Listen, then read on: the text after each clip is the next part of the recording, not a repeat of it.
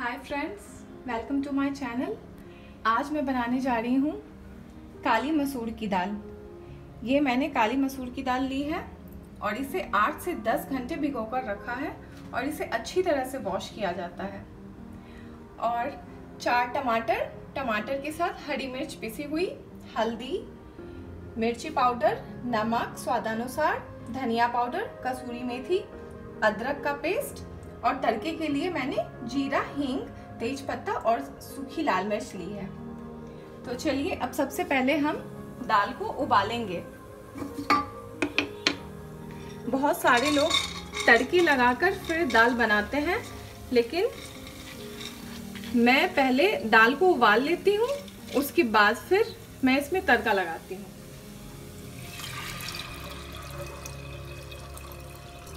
ज़्यादा पानी देने की ज़रूरत नहीं है, क्योंकि मसूर की दाल जल्दी ही गल जाती है। आधी नमक आप इसमें डाल दीजिए और आधे तड़के में डाल देना है। ये रही हमारी थोड़ी सी हल्दी और थोड़ी सी हींग और अदरक। अब हम इसमें दो सीटी लगा देंगे और तीन से चार मिनट तक इसे सिम पे रखेंगे।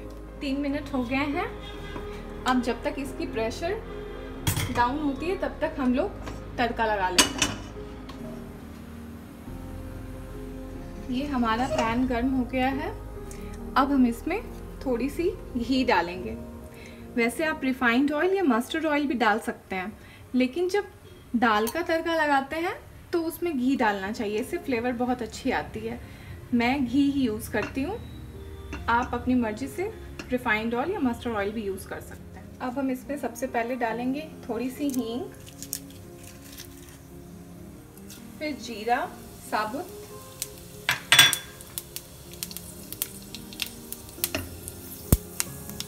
तेज पत्ता और सूखी लाल मिर्च। फिर हम इसमें डालेंगे जो हमारी बची हुई हल्दी थी, वो हमने पूरी डाल दी। हल्दी, मिर्ची पाउडर और धनिया पाउडर। अब हम इसमें हमारी टोमेटो प्यूरी, जो हमने टोमेटो और हरी मिर्च की पेस्ट बनाई है, वो डाल दी।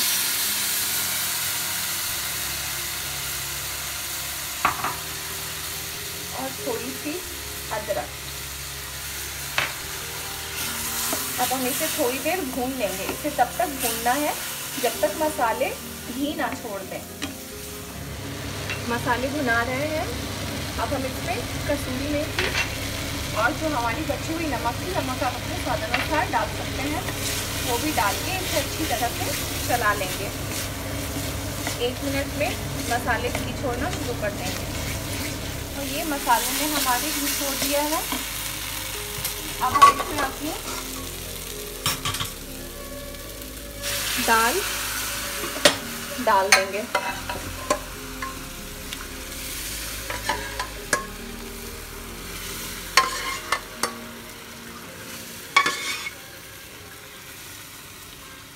इसे अच्छी तरह से मिला लेंगे और फिर यदि आपको इसे और पतली बनानी है तो आप इसमें और पानी ऐड कर सकते हैं और जिसे गाढ़ी चाहिए, वो अपनी गाढ़ी भी बना सकते हैं। अब हम इसमें गरम मसाला पिसा हुआ।